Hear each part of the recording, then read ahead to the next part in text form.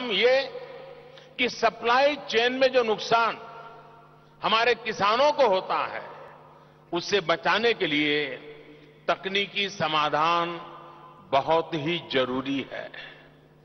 साथियों, गाँव की अर्थव्यवस्था की एक और अहम कड़ी है हमारे लघु और मध्यम उद्योग, यानी एमएसएमई बदलते हुए समय में इनकी मजबूती भी आप सभी साथियों से जुड़ी हुई है। अब जैसे सिंगल यूज़ प्लास्टिक की ही बात लीजिए।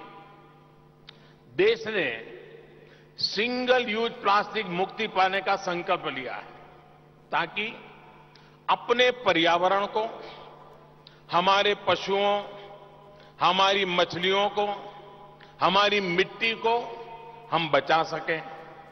लेकिन प्लास्टिक का सस्ता और टिकाऊ और कुछ नया विकल्प तो आपको खोजना होगा।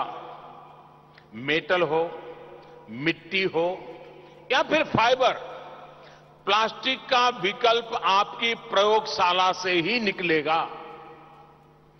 प्लास्टिक वेस्ट के साथ साथ इलेक्ट्रॉनिक वेस्ट से मेटल को निकालने और इसके रीयूज को लेकर भी हमें नई तकनीक नए समाधान की ज़रूरत है।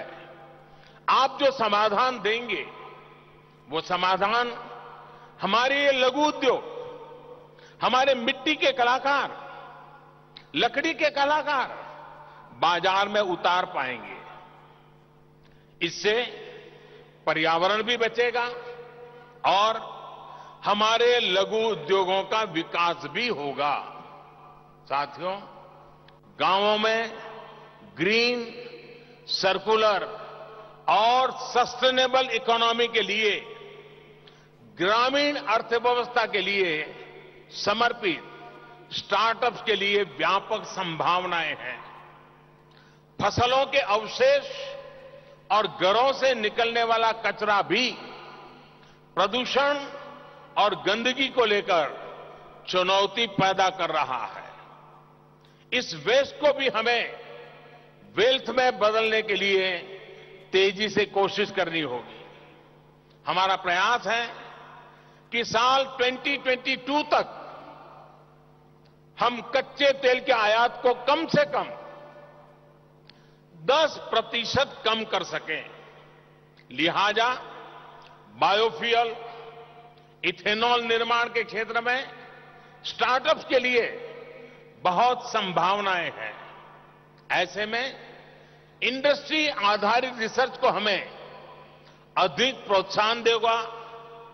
हर स्टेक होल्डर को के उसके बीच में संवाद को हमें विकसित करना होगा। याद रखिए, आपका यही योगदान भारत को फाइव ट्रिलियन डॉलर इकोनॉमी बनाने में बहुत बड़ी भूमिका निभाएगा।